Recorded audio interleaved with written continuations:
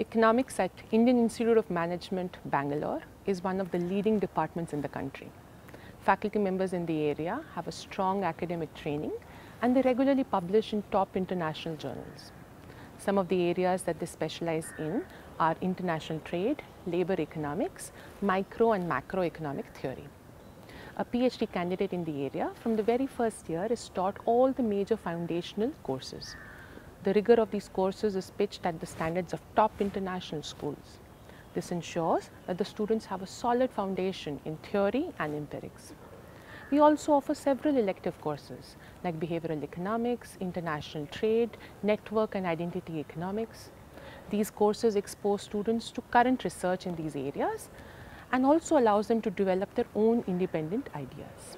If you are serious about an academic career in economics, we strongly encourage you to apply to the PhD program of economics at IIM Bangalore.